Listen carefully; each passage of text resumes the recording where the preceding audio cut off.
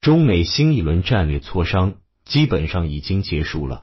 尽管在磋商中并没有取得什么重要的成果，可中国同意磋商本身就已经是给了拜登面子。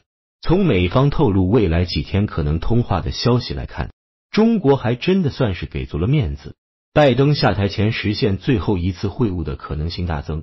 在宣布退选总统连任和确定了哈里斯接班之后，美国总统拜登又推动了新一轮的中美战略磋商，以美国安全事务助理沙利文。访问中国为标志，这新一轮磋商也就开始了。而以中方赴美参会期间与美国务卿布林肯的会谈为标志，新一轮战略磋商也就基本上结束了。尽管中方与布林肯的会谈不是十分愉快，这从布林肯在中国国庆前没有发贺电就可以看出。可是随后还是在十月三日补发了贺电，这表明中国最终还是决定给拜登一点面子。在布林肯补发国庆贺电之后，美方立即就透露未来几天可能再一次通话。尽管我方已经明确不参加巴西 G 二零峰会，可最后还有一个秘鲁 APEC 会议，这才是会晤的最后一次机会。临秋末晚，拜登还要进行任期内最后一次中美战略磋商，核心不在于能否取得磋商成果，而在于借机寻求会晤的可能。真正的目的有二。一是为自己任期画上一个基本圆满的句号，世界进入到重构世界秩序的大国竞争时代，中国是美国最大的对手，这都是拜登定义的。尽管拜登一再强调是竞争不是对抗，可重构世界秩序或者说改变世界，又岂是用竞争能够实现的？强大的美国，手握霸权的美国，又怎么能让中国和平复兴崛起，成为世界强国？实际上，这等于是拜登给中美关系定性为敌对。尽管如此，可拜登也清楚，冷战时代已经过去，现在的中国也不是当年的苏联可比。重要的是，世界在变，不管是冷战还是热战，都是普遍反对的。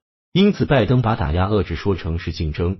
美国严厉打压了中国，可中国并没有与美国反目成仇，这等于是进入了美国的所谓竞争节奏。这彰显的是拜登掌控局势的能力。然而，既然中美关系是世界上最重要的关系，拜登在任期内却没能与中国实现相互的正式国事访问，这又表明了拜登的外交无能。既然已经是无法实现互访了，那么再实现一次会晤也是好的。因此，只有实现了再一次会晤，多少也表明了拜登的外交掌控能力，也算是他这一届总统。在处理最重要的双边关系的圆满。二是为哈里斯站队，拜登退选是情非得已，或者说并非出自个人意愿，是被民主党人逼宫的结果，让他的副手哈里斯成为他的竞争接班人，这应当是拜登退选的重要条件。在近四年的时间里，拜登一直表现出来的是与哈里斯的关系相当亲密，或者他会认为哈里斯会对他能感恩戴德，也就是一旦当选。能够继续他的李国执政理念。重要的是，或许拜登还认为自己的影响力能够助哈里斯取胜。在即将卸任之际，再推动一次中美战略磋商，如果谈得好，就会让美国的选民们认为拜登还有较强的能力。美国选民或许会选择拜登的亲选接班人。重要的是，这一轮中美战略磋商，即使没有成果。中国当然也希望下一届政府能够延续下来。如果特朗普上台后完全推翻，一切都得从头再来，这自然不是中国所愿。而重新磋商后，如果继任者不认可，也就意味着美国的出尔反尔，这会让中国反感，中美关系的缓和恐怕会更困难。这等于是给特朗普挖了个坑。如果是哈里斯上台，自然会更多延续这一轮的战略磋商。这等于是继承了拜登的政治遗产。对于我方来说，对美国人的谈谈打打、打打谈谈已经形成了习惯，可以说是见怪不怪、不受其害了。正所谓你有你的千条妙计，我有我的一定之规。既然美国主动求稳，对中国来说也是求之不得的。中国目前最需要的就是争取更多的时间来发展强大自己，更需要时间来进行战略部署。自然不希望中美关系一直处于紧张的状态，但是近来拜登的表现实在也不怎么地。为了显示自己的强势，一边与中国进行战略磋商，一边却在台海和南海制造紧张空气，还有加征关税，所以相见自然是难了。中国不参加巴西举办的 G 二零峰会，这应当令拜登有些恼火。这可能是布林肯在中国国庆之前破例不祝贺的重要原因之一。或许随后获悉中国要参加 G 二零之后的秘鲁 APEC 峰会，只有燃起了希望。对于中国来说，尽管 G 二零峰会的范围更大，可如今 G 二零已经是没有太大的意义了。而 APEC 属于亚太范围，对中国来说意义或许更大。重要的是，中国与巴西见面的时候太多了，该说的也都说明白了，而中巴的合作也是相当密切。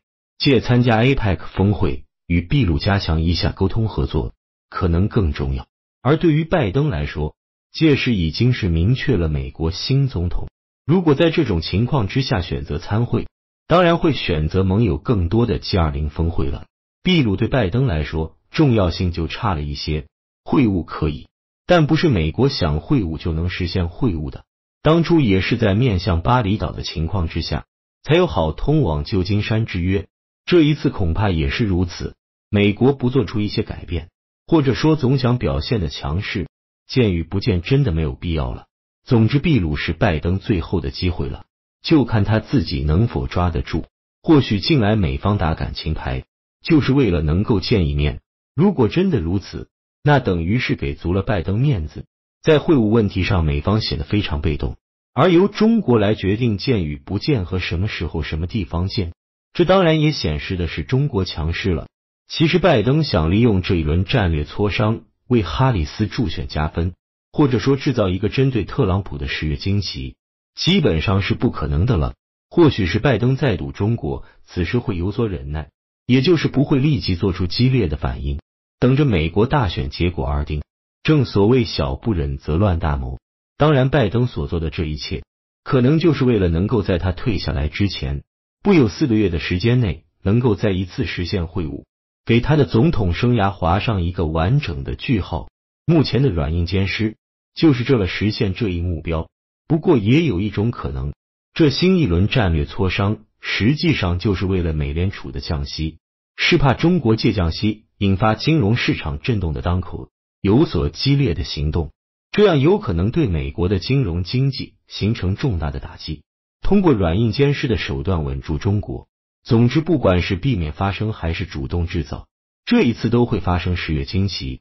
只是不知道这一次是对哈里斯有利还是特朗普有用。